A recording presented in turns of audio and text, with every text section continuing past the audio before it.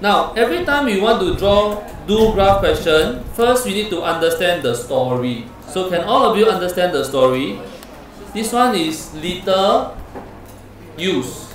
Can you circle the little use? Circle on the textbook. Oh, circle on the textbook. Then this one is distant travel. This is distant travel. Ifa. Now, next what I want you to do, I want you to choose a point where we can.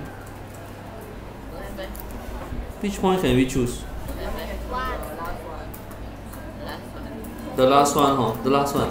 Okay, can everyone choose the last point and put a cross here and put down 5.5 comma 50 then you draw an arrow so you write a statement huh?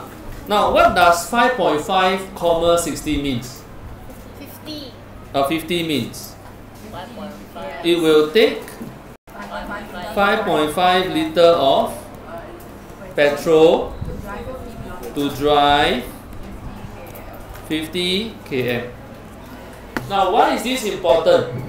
Now, all drivers, whether you are in Singapore or not, you need to know your car performance. You need to know uh, your car, the petrol, uh, one liter can drive how fast.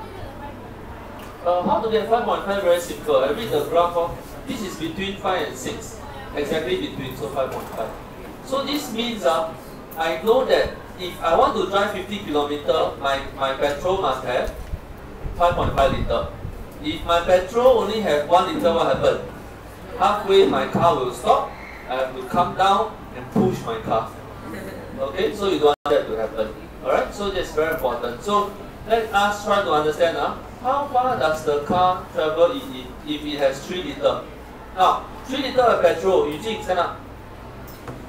Stand up first.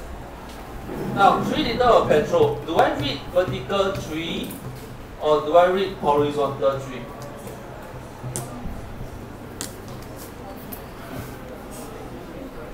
Read the question, huh? think How far can the car travel if it has 3 liter of petrol? Do I look at horizontal 3 or vertical 3? Huh? Horizontal, very good. So horizontal 3 means this is 3. You take a ruler, you draw dotted line, tap, tap, tap, tap. Then after that, you use a dotted line and you tap, tap again. I can't see clearly already.